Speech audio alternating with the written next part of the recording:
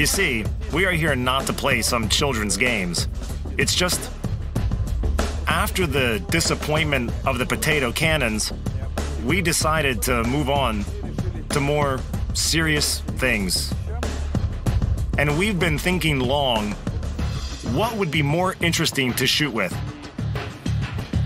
So we came to the conclusion that billiard balls would be really fun, right? Yes. This is the story so far. This, of course, is not serious, yes? And it will die in its turn. Now we will prepare a small, modest air cannon that shoots real billiard balls. And we'll check what a billiard ball can do if it is given enough acceleration. We will measure the acceleration, right? Yes. I think we'll measure the destruction. Good. Okay.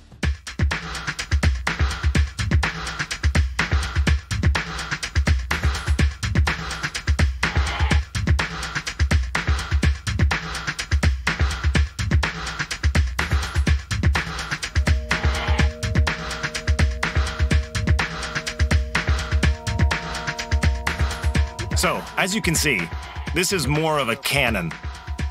It was built by Ilya, our FX director. And so probably you should explain how it works in a word or so. Go ahead. It's an ordinary air gun. It's ordinary because for shooting it, it uses compressed air. You see, Sonia, we have a trunk. The trunk is not simple. It's not an ordinary water pipe. It's seamless. And the cylinder is hydraulic. Yes, we have a receiver right there at Sasha's side. Look how these balloons are assembled. High pressure balloons, yes. We blow high pressure in through this hose via the one inch section. Fast. And besides fast, how big? Let's give it a try. I don't even know how to cover up. Sasha, okay, you're in charge. Three, two, one, fire.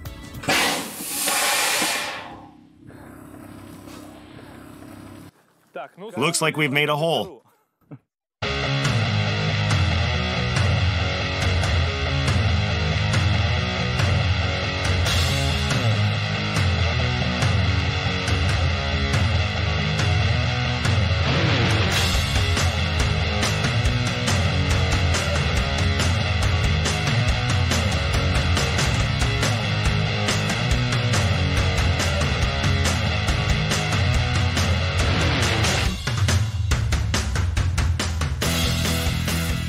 So, we've managed to break two balls at once a cue ball and the other one, which was hit.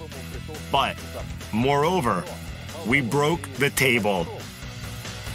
But, Ilya, this is already, and not with our ball, yes, not the one we shot with, but this is just a children's table. It is very fragile. And what do you think? Is it possible to accelerate the billiard ball to such a speed that it punched through a real granite table?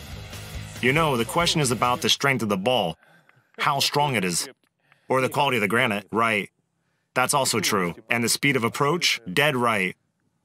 Well, we'll try, why not? Maybe let's do an experiment. Go for it. Just for reference, previously we shot at less than 100 atmospheres at 80. Yes. Here I think it is necessary to pump up more and prepare, well, and a pool table. By the way, I wanted to get one myself long ago. Well, unfortunately, we have a simplified version of it. Uh, I don't want this version. It's made of real granite.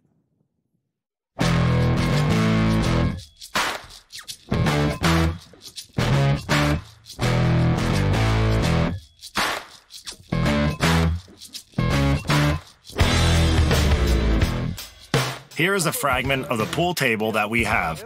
This is a granite slab of 6 centimeters. Oh, it's quite solid, yes? Yes. A decent pool table must be made at least 4 centimeters thick.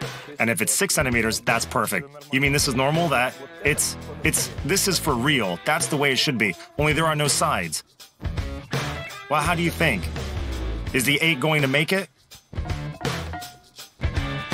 Look, I don't know. It sounds like a steel sheet. In fact, you hear, right?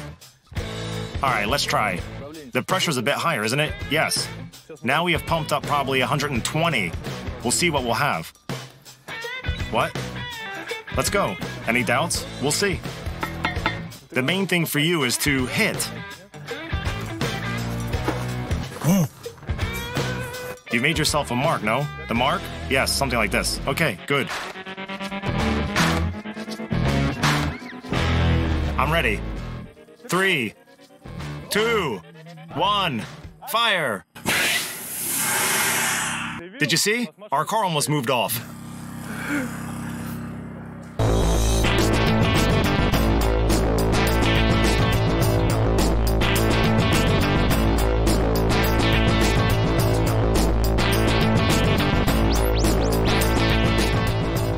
Look, a really good hit. You did an amazing job. Well, that is absolutely unequaled. Pool tables are made out of good material, and the ball's out of a bad one. Well, look, it's not some ball made of bone. I think the bone one would have shattered the same way, maybe even better. Maybe yes. In a movie, when you hide behind an overturned table, it should be a pool table. Look, the idea is good, and maybe we'll try it. Can we break it with a bullet? Come on. We have one? Well, of course.